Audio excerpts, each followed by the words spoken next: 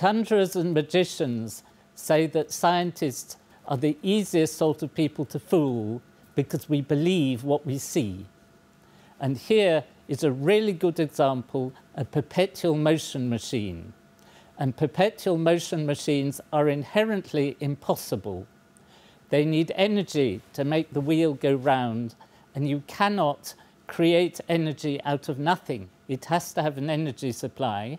But if you look at this wheel, it is going round with no obvious way of propelling it. There's no motor, there are all sorts of things around it, but it's not clear how it works.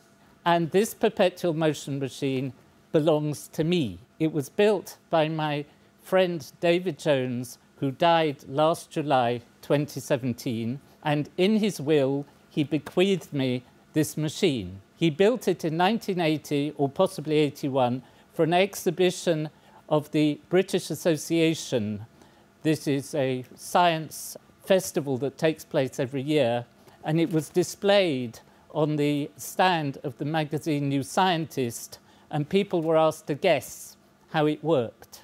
In all the years since then, since 1981, only one person may have guessed the right answer, and one of David's friends has got pretty close, and everybody else has got it wrong.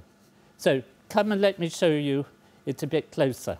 It's a bicycle wheel, a perfectly standard bicycle wheel with three funny boxes on it, a copper stand, something down here with heat sinks on it.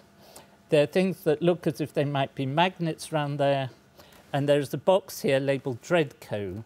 My friend David had a bogus company that he wrote about in his funny column called Daedalus column in the journal New Scientist.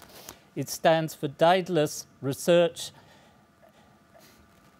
I'm not sure what E stands for, and Development Company. It was completely bogus, but quite often people tried to sue him for patent infringement. I know because David was ill towards the end of his life that this machine has been running for more than two years without any attention. And it's a bit slower than it went before, so presumably whatever its mysterious energy source, it's running down.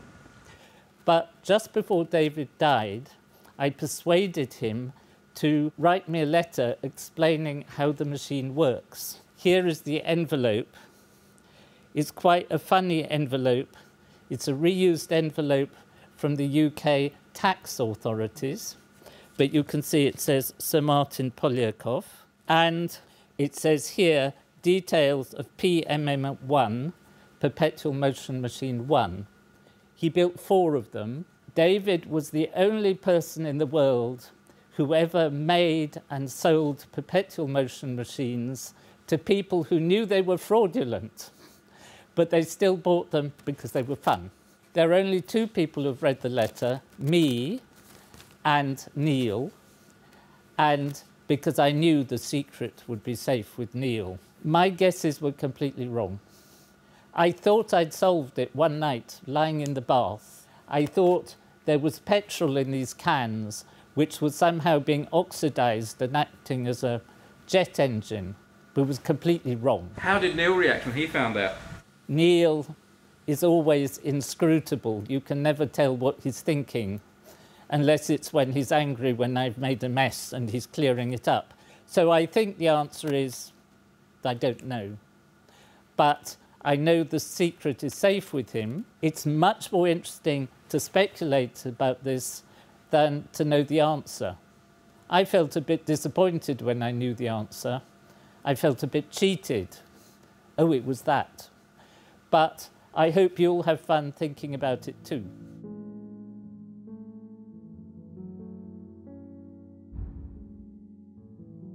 You still see the flame going down, but instead of going down in one great whoosh, it jumps up and down the tube. So it goes down a little bit and then up and down and up and down and so on